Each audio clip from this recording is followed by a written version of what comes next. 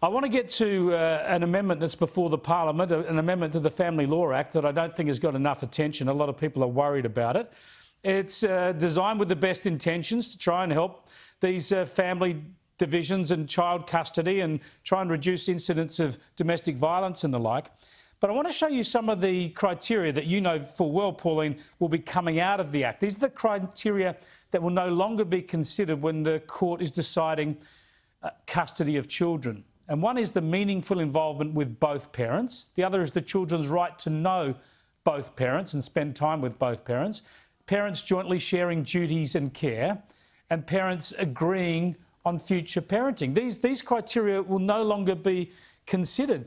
That's a big worry, isn't it, Pauline? And I think a lot of men in the family court will feel that they are the ones who will miss out on time and access to their children because of this.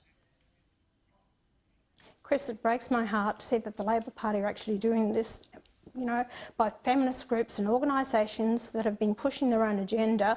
And this was not part of the recommendations of the inquiry that I actually got up.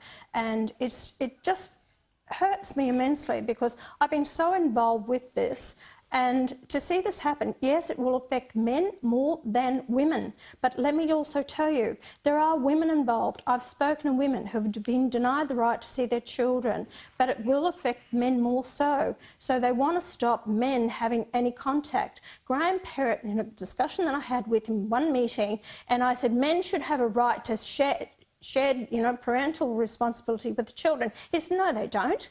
He said women make far better parents. Now, that tells me he's nothing but a male chauvinist. He's grown up in a household, you go out to work and the women looks after the kids. And that's the attitude. And he moved, before the recommendations came down on the floor of Parliament, to actually get rid of shared parenting.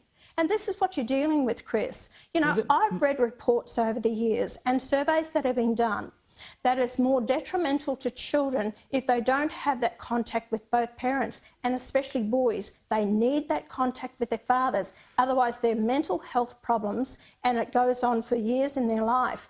We have to think of the children. It's not about women's rights here, it's about the children. Yeah, now there's fairly complicated changes to the law, but if, to summarise them, if I can summarise it correctly, you, will know um, th there used to be a presumption under the law. There, there is now a presumption under the law that the, the best scenario would be for a child to split uh, their care between both parents, that both parents have equal access.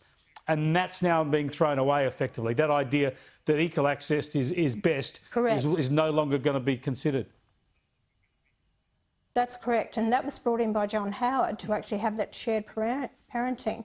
And, you know, they're trying to say, oh, parents are confused by that. They shouldn't have 50 50 um, parental custody of the children and have a say in it. And I know fathers that they can't get the medical records of the children, they can't get their uh, uh, children's reports because the other parent won't allow it. You know, there's so many things. And I'll tell you what's going to happen here, Chris. There will be more domestic violence, there will be more suicides, there will be more problems that are going to happen because the more you deny these great men out there who want to be fathers, fathers to the children, and we are denying them that right. Not only the not only the fathers, but it's the extended families, it's the grandparents, it's extended families that will not get contact with them.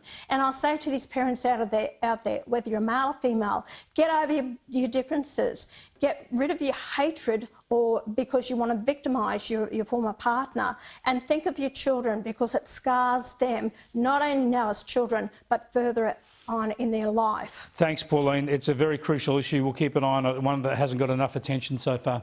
Appreciate your time. Pauline Hanson there, live from Queensland.